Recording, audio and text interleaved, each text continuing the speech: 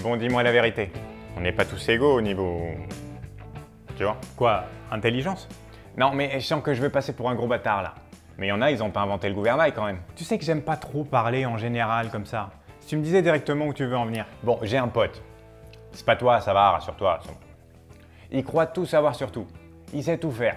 Enfin, si tu le laisses partir, c'est lui qui a filé l'idée de l'iPhone à Steve Jobs, tu vois. Ah mais il y a encore pire que toi alors. La classe mondiale. Peut-être même le champion du monde. Non, mais bon, j'étais à l'école avec ce mec. Bon, bah, il galérait comme les autres, quoi. Je sais que t'as déjà expliqué ici pourquoi on ressent les choses comme ci ou comme ça. Mais là, objectivement, quoi, il... Hyper sympa, hein, mais bon... Eh, la réussite à l'école, c'est pas que ça l'intelligence. Mais si tu veux, on peut commencer par là. Il existe une expérience célèbre sur des rats sélectionnés pour être stupides ou intelligents.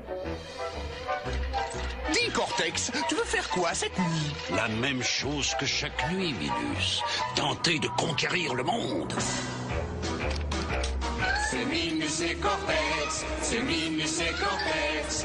Cortex le génie, Minus l'abruti.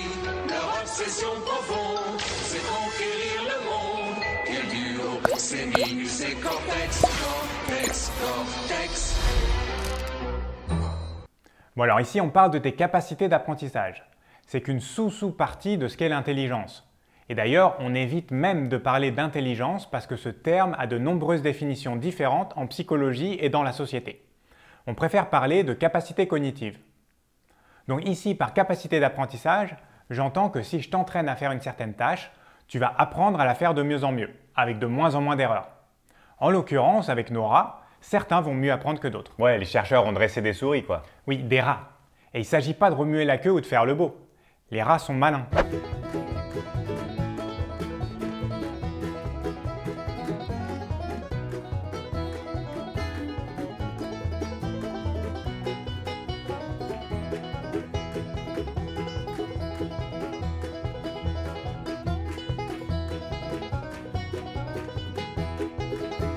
Ils ont été testés avec des labyrinthes dits de Hebs-Williams. Les rats rentrent là-haut, et la cage contient de la nourriture à l'autre bout. D'abord, on va entraîner les rats dans des cages avec six différents types de labyrinthes. Tu vois qu'il y a des formes plus ou moins compliquées, mais ça reste relativement simple. Le but, c'est que les rats s'habituent à la situation et intègrent qu'il y a de la nourriture qu'il va falloir trouver quelque part. Puis on les soumet à 12 nouveaux labyrinthes et on mesure combien ils font d'erreurs pour atteindre la nourriture. Là sont des labyrinthes un peu plus complexes et on compte une erreur quand les deux pattes avant du rat marchent dans ces zones-là. Attends, mais c'est super dur. Moi, tu me mets dans un labyrinthe que je connais pas, mais je vais galérer pour trouver la sortie. Mais Bien sûr, et c'est pas qu'il faut pas faire d'erreur du tout, du tout. Mais toi, tu rentrerais pas 15 fois dans le même cul-de-sac pour vérifier si la nourriture est pas là. Et encore une fois, les rats sont malins. Ils peuvent trouver de la nourriture dans des labyrinthes bien plus compliqués que ceux-là.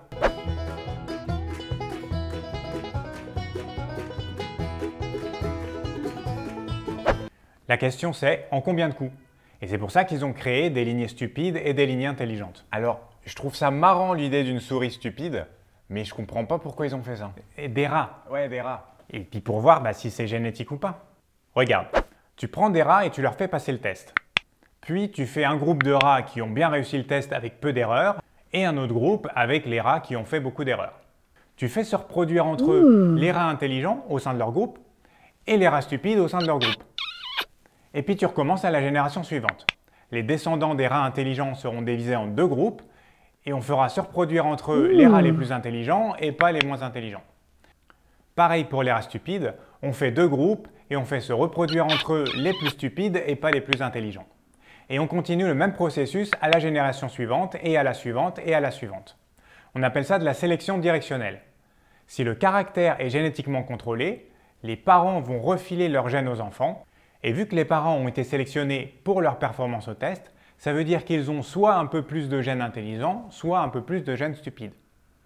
Avec les générations, on va progressivement perdre les gènes de stupidité chez la lignée intelligente et les gènes d'intelligence chez la lignée stupide. On devrait créer comme ça des rats de plus en plus intelligents et de plus en plus stupides. Par contre, si c'est par hasard qu'un rat fait beaucoup ou peu d'erreurs et que ça n'a rien à voir avec la génétique, alors tout ce processus de groupe et de croisement ne sert à rien. Et même après 10 générations, on aura toujours à peu près le même taux d'erreur dans les deux groupes. C'est pas un peu abusé de faire ça à des souris? À des rats. Et on ne parle pas vraiment d'intelligence et de stupidité ici. Je caricature, juste une capacité plus ou moins développée à trouver de la nourriture dans un labyrinthe. Bref, tu vois qu'après une génération seulement, les rats stupides font en moyenne 13,5 erreurs et les rats intelligents 9,5. Après 21 générations, les rats stupides font en moyenne 18 erreurs et les rats intelligents 8. Donc tu veux dire qu'on aurait une sorte de talent inné dû aux gènes que nous ont refilés nos parents? Pour faire certains trucs en tout cas. Genre là, les souris intelligentes, Les rats. bah oui, oui, oui, les rats, euh, ils naissent plus capables que les rats stupides pour trouver de la bouffe. Et j'imagine que c'est maintenant que tu vas me parler d'héritabilité, tout ça, tout ça. Je pourrais, mais on va se garder ça pour l'humain, ok? Là, je voudrais te montrer le résultat le plus célèbre concernant ces lignées de rats intelligents et stupides. En 1958, et oui, c'est vieux, mais c'est un très beau résultat, les chercheurs Cooper et Zubek ont élevé des jeunes rats qui avaient précédemment été sélectionnés sur 13 générations pour leur aptitude à trouver de la nourriture dans un labyrinthe. Ils ont divisé les rats intelligents et stupides en deux conditions. La condition enrichie, par rapport aux conditions normales d'élevage, où les cages avaient été placées dans des salles avec des murs colorés et contenaient des rampes, miroirs, balançoires, balles, barrières, toboggans, cloches, etc. Bref, de quoi développer leur sens de l'exploration. Ils ont fait une condition appauvrie par rapport aux conditions normales d'élevage, et là les cages étaient placées dans des salles entièrement grises et contenaient uniquement de la nourriture et de l'eau. Même pas un petit peu de coton pour dormir. Dans les conditions normales, on observe bien que les rats stupides font beaucoup plus d'erreurs, 160 environ, et les rats intelligents n'en font que 120. Là où ça devient intéressant, c'est que quand on élève les rats en conditions enrichies, les rats stupides ne font plus qu'environ 120 erreurs, contre environ 110 pour les intelligents. Et ça marche aussi avec la condition pauvre. Les rats stupides et intelligents font tous les deux 170 erreurs. Ah mais c'est dingue ça Dans la condition pauvre, les rats intelligents sont aussi mauvais que les stupides, et dans la condition riche, les rats stupides sont presque aussi bons que les intelligents. Ouais, ici on a deux effets qui se confondent que je voudrais te montrer sur le graphique. En moyenne, les rats font 170 erreurs dans la condition pauvre, 140 dans la condition normale et 115 dans la condition enrichie. Ça, c'est l'effet environnement pur. Peu importe ta génétique, la condition enrichie est plus favorable et la condition appauvrie est plus défavorable. Et ça, c'est pour tout le monde. On s'en sort mieux en conditions riches qu'en conditions normales et qu'en conditions appauvries. En moyenne, tout le groupe a fait 25 erreurs de moins en conditions riches et 30 erreurs de plus en conditions appauvries. On avait déjà bien détaillé l'effet de l'environnement pur dans cette vidéo sur le surpoids. Maintenant, suivant ta génétique, donc ici stupide ou intelligent, chaque environnement aura un effet plus ou moins fort sur toi. Ça conduit ici à une différence énorme de 47 erreurs entre les rats stupides et intelligents en conditions normales, mais à fortement réduire les inégalités entre les deux lignées en conditions enrichies ou appauvries. Voire pour d'autres caractères ou d'autres environnements, ça pourrait même inverser le classement et les stupides deviendraient meilleurs que les intelligents. Ça, c'est ce qu'on appelle de l'interaction génotype-environnement, qu'on avait déjà pas mal détaillé dans cette vidéo sur les relations amoureuses. Ici, c'est juste une autre manière de le voir. Et enfin, dans cette vidéo sur l'alcoolisme, on avait vu que l'environnement pouvait aussi gommer tes particularités génétiques. Et bien là, c'est tout à fait ce qu'on voit aussi. Une éducation extrême dans un sens ou dans l'autre efface les différences stupides ou intelligents pour ne laisser que des rats globalement intelligents ou globalement stupides. Eh mais c'est dingue des implications que ce genre d'études devrait avoir sur l'éducation en général.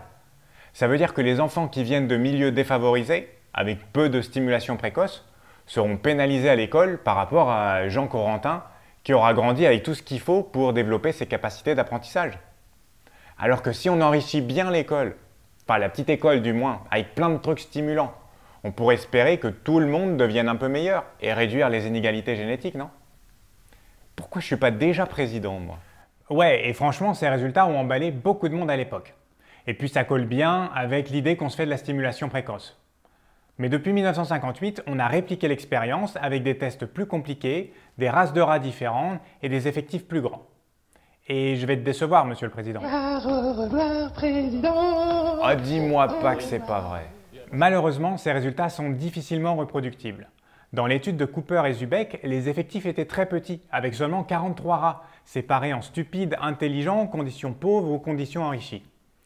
Les nouveaux résultats montrent que les différents tests d'apprentissage individuellement ont bien des bases génétiques, même de l'apprentissage faisant intervenir des capacités visuelles ou non visuelles, mais l'effet d'un enrichissement précoce des cages avec des jouets stimulants euh, semble en fait avoir un effet limité, voire nul sur les inégalités. Et ça a été testé chez les primates aussi, donc on commence à en être plutôt sûr. Comme je t'ai dit, les capacités d'apprentissage, c'est bien plus que retrouver de la nourriture dans un labyrinthe, et l'intelligence, c'est bien plus que les capacités d'apprentissage. Oh bah non euh, Tout ça pour ça Moi, Je croyais qu'on tenait un truc là Bon, on a quand même quelque chose. C'est juste pas encore aujourd'hui que tu deviendras président.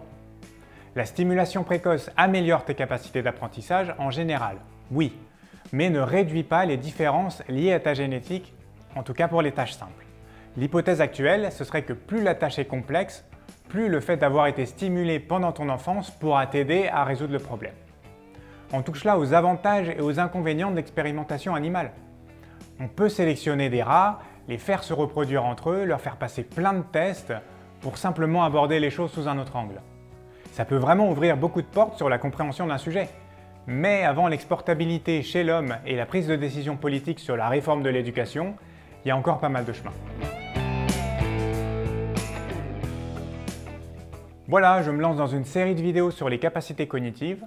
Je ne sais pas combien d'épisodes ça prendra parce qu'il y a vraiment énormément de littérature sur le sujet.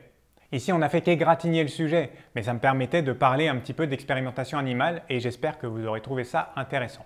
Comme d'habitude, likez et partagez cette vidéo si elle vous a plu, et puis à la prochaine.